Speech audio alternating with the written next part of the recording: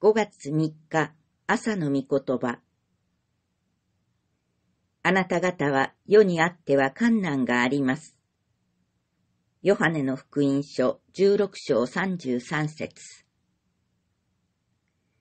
信者よ、あなたはその理由を質問したいのか。仰いであなたの天の父を見、その純潔と神聖を見よ。あなたは自分がいつかそのようになるのを知っているか。あなたは容易に主の御形に似るものとされるだろうか。あなたは清められるため、観難の炉の中で十分に鍛えられる必要はないか。あなたの汚れを除き、あなたの天の父が完全であられるように、完全なものとされるのは容易なことだろうか。次に主にある友よ。目を下に向けよ。足の下にどのような敵がいるかを知っているか。あなたはかつてサタンのしもべであった。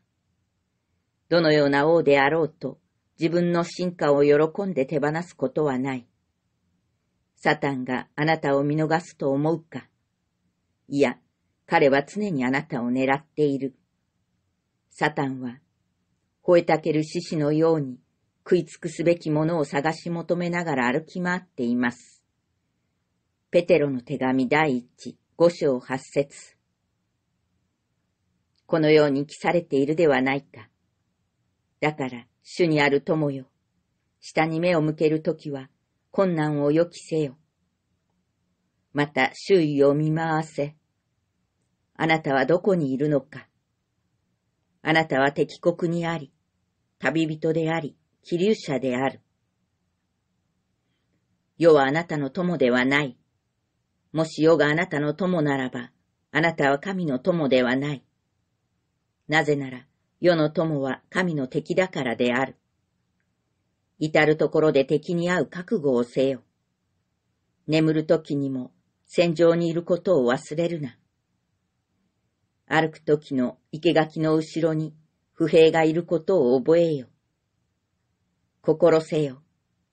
川土地の人よりも旅人の方をよく指すと言われるが、そのように、この地上の試練は、あなたにとってさらに激しいだろう。最後に、あなた自身の内を見、心の中を調べよ。罪と自我がなおあるのではないか。ああ、たとえあなたを誘惑する悪魔がなく、あなたの戦うべき敵も、陥れる世もないとしても、なおあなたを悩ます罪悪を見出すであろう。人の心は何よりも陰険で、それは治らないと記されている通りである。エレミア書十七章九節それゆえ、困難を予期せよ。しかし、気落ちしてはならない。神はあなたと共にいて、あなたを助け、力づけてくださる。